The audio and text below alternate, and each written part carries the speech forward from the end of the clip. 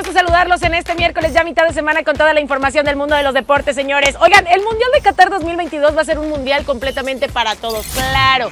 Ya salió precisamente desde el comité organizador de la Copa del Mundo que este mundial va a ser para absolutamente todos. Olvídense de todas las cosas que se estuvieron diciendo, que si las banderas, que si los movimientos, que si todas las circunstancias, va a ser para todos. Aquí también se va a estar apoyando precisamente a la comunidad LGBT por todo el tema que se estuvo rumorando a lo largo de estos últimos días, pero ya dijeron que es completamente para todos. Así es que el choque cultural va a estar espectacular. Ojo con esto.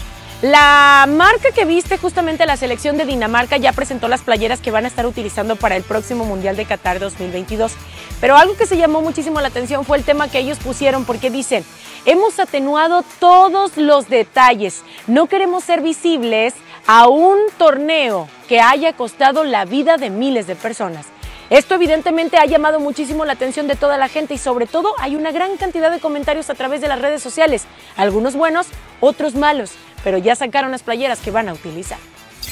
Parece que a muchos de los aficionados no les está gustando la participación del Tata Martino al frente de la selección mexicana. Es más, en este partido del día de ayer en la noche, donde se enfrentaron ante su similar de Colombia, después de haber finalizado el duelo, el Tata Martino regresó justamente a los vestidores, pero muchos de los aficionados, a pesar de que le estuvieron gritando una gran cantidad de cosas, muchos de ellos estuvieron aventando objetos y líquidos. Eso no se va a permitir. No es justo, banda, simplemente no es justo.